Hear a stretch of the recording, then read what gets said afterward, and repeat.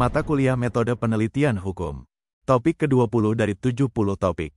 Pendekatan historis dalam penelitian hukum. Pendekatan historis dilakukan dengan menelaah latar belakang apa yang dipelajari dan perkembangan pengaturan mengenai isu yang dihadapi. Telah demikian diperlukan oleh peneliti manakala peneliti memang ingin mengungkap filosofis dan pola pikir yang melahirkan sesuatu yang sedang dipelajari.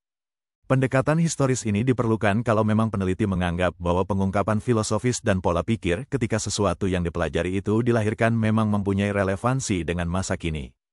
Isu mengenai advokat sebagai officium nobile, atau jasa pelayanan yang mulia, dikaitkan dengan undang-undang advokat, misalnya perlu pendekatan historis mengenai lahirnya lembaga advokat tersebut. Pendekatan historis dilakukan dalam kerangka pelacakan sejarah lembaga hukum dari waktu ke waktu. Pendekatan ini sangat membantu peneliti untuk memahami filosofi dari aturan hukum dari waktu ke waktu.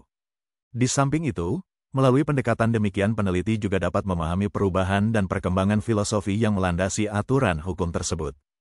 Dengan demikian, pendekatan historis dapat memperdalam dan memperkaya pengetahuan peneliti mengenai suatu sistem atau lembaga atau pengaturan hukum, sehingga dapat dihindari kekeliruan-kekeliruan, baik dalam pemahaman maupun penerapan suatu lembaga atau ketentuan hukum.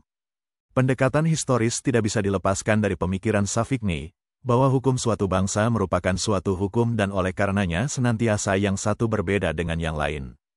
Perbedaan ini terletak pada karakteristik pertumbuhan yang dialami oleh masing-masing sistem hukum. Ada hubungan yang terus-menerus antara sistem hukum yang sekarang dengan yang lalu. Artinya hukum yang sekarang dibentuk oleh proses-proses yang berlangsung pada masa lampau. Dengan mengacu pendapat Sacipto Raharjo, objek telah pendekatan historis adalah sebagai berikut. 1. Faktor-faktor yang mempengaruhi terbentuknya suatu lembaga hukum dan jalannya proses pembentukan tersebut. 2. Faktor yang dominan pengaruhnya dalam proses pembentukan suatu lembaga hukum tertentu dan apa sebabnya. 3. Interaksi antara pengaruh-pengaruh yang datang dari luar dengan kekuatan perkembangan dari dalam masyarakat sendiri. 4.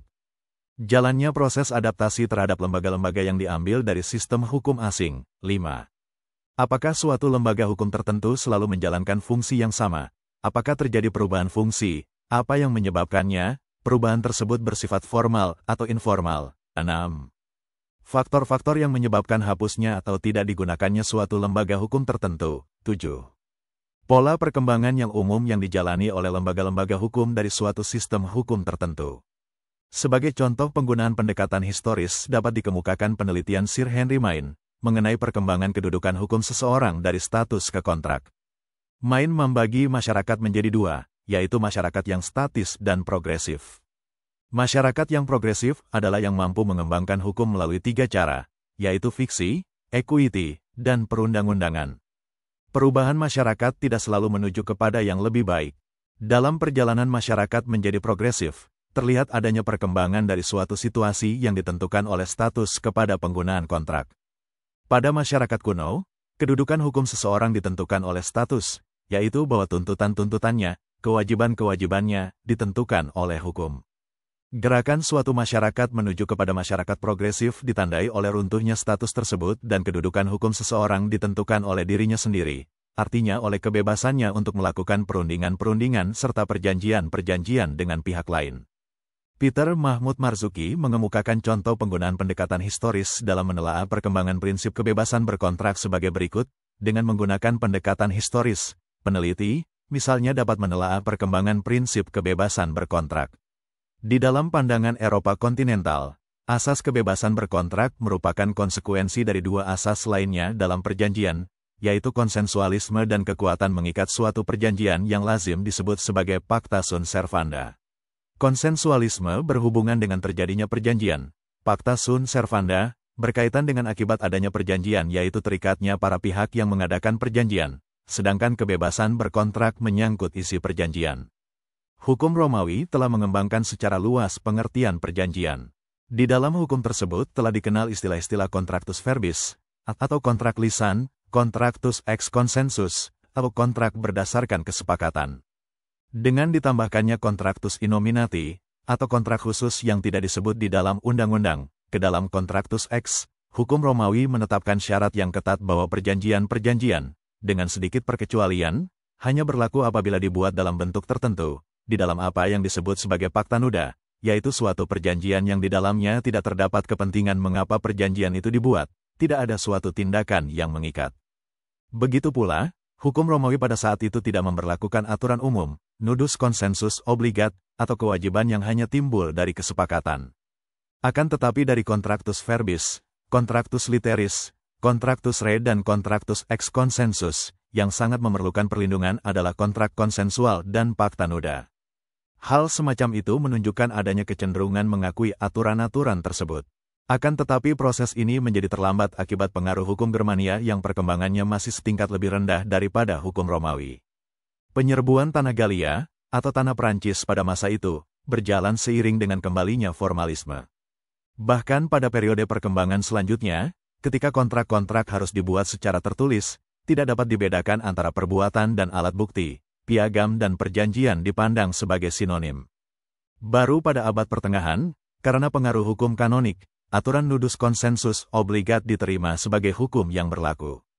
Hukum kanonik pada abad pertengahan mempunyai peran yang penting karena pengadilan gereja juga menangani masalah-masalah duniawi. Bahkan sebelumnya, janji yang diucapkan di bawah sumpah oleh pengadilan-pengadilan gereja diakui berlaku sebagai perjanjian. Karena pengaruh teologi moral, secara berangsur-angsur berkembanglah asas bahwa janji-janji yang tidak dibuat di bawah sumpah pun mengikat dan sekitar abad 13, diadopsilah asas nudus konsensus obligat, Pakta Sun Servanda sebagai aturan hukum di dalam hukum kanonik. Kiranya di dalam ius sivil aturan itu juga diakui sebagai hukum yang berlaku. Pakta Nuda Sun Servanda mempunyai pengertian bahwa suatu paktum, yaitu persesuaian kehendak, tidak perlu dilakukan di bawah sumpah, atau dibuat dengan tindakan atau formalitas tertentu. Menurut hukum, persesuaian kehendak itu membentuk suatu perjanjian yang mengikat. Begitu pula nudum paktum, yaitu suatu persesuaian kehendak saja, sudah memenuhi syarat. Asas semacam ini disebut konsensualisme. Apabila alur perkembangan asas itu diikuti, sebenarnya mengikatnya suatu perjanjian itu disebabkan oleh adanya konsensus atau persesuaian kehendak. Akan tetapi mengingat bahwa konsensus itu telah diwujudkan di dalam suatu paktum, paktum inilah yang kemudian dipandang sebagai mempunyai kekuatan mengikat. Oleh karena itulah dapat dipahami kalau pada saat ini yang lebih menonjol adalah asas fakta, nuda, sun servanda yang berkaitan dengan kekuatan mengikatnya suatu perjanjian. Pengertian fakta sun servanda itu sendiri adalah perjanjian harus ditaati. Dalam bahasa Latin, servanda dari kata servar yang artinya menepati atau menjalankan dengan sungguh-sungguh. Sering kali asas ini ditafsirkan sebagai perjanjian mengikat sebagai undang-undang. Penafsiran demikian timbul karena bunyi pasal 1338 ayat 1 BW Indonesia. Asas tersebut yang menyatakan seseorang yang membuat janji secara lisan bukan saja terikat secara moral, melainkan juga secara hukum mengindikasikan bahwa suatu masyarakat dengan tingkat perkembangan tertentu berpikir mengenai adanya kebebasan dalam melakukan bisnis. Konsekuensinya, timbullah asas yang lain, yaitu asas kebebasan berkontrak yang merupakan salah satu dari hak-hak kemerdekaan seseorang bisnis tidak akan mungkin terjadi tanpa adanya perlindungan terhadap asas kebebasan berkontrak. Memang, tidak dapat disangkal bahwa tidak mungkin asas ini dilakukan secara mutlak tanpa batasan. Batasan-batasan tersebut dapat berubah-ubah seiring dengan perkembangan zaman dan kepentingan umum. Suatu hal yang perlu dikemukakan di sini adalah bahwa kepentingan umum tidak boleh bersifat kontraproduktif terhadap asas kebebasan berkontrak itu sendiri, artinya bahwa demi kepentingan umum ruang gerak kebebasan berkontrak menjadi sangat sempit. Jika yang demikian terjadi, sama saja dengan tidak adanya pengakuan terhadap asas kebebasan berkontrak. Itulah materi topik ke-20 metode penelitian hukum. Channel ini dimaksudkan membantu para mahasiswa untuk memahami perkuliahan dan masyarakat umum yang ingin menambah wawasan. Video tutorial dituturkan dan disubtitelkan agar dapat ditonton, dibaca, sambil didengarkan. Untuk pemahaman yang lebih baik, putar dan dengarkan video tutorial berulang-ulang. Subscribe dan like, agar Anda mendapatkan update tutorial lainnya. Bagikan link video ini agar teman-teman juga mendapatkan manfaat channel ini. Sekian dan terima kasih. Sampai jumpa.